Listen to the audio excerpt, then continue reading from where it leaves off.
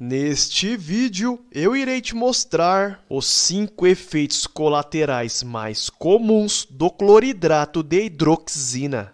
Se sentir alguns desses efeitos colaterais, procure auxílio médico. Abrindo o nosso pódio, em quinto lugar aparece o sintoma de crises convulsivas. Seguindo em quarto lugar aparece o sintoma de vertigem e tontura. E em terceiro lugar, ganhando a medalha de bronze, aparece o sintoma de agitação e ansiedade. E em segundo lugar, ganhando a medalha de prata, aparece o sintoma de perca de apetite. E em primeiro lugar, ganhando a medalha de ouro, aparece o sintoma mais comum, o sintoma de sonolência e fadiga constante. Mas atenção, se você realmente tem interesse em aumentar sua imunidade e prevenir várias doenças, é só clicar na descrição do nosso vídeo.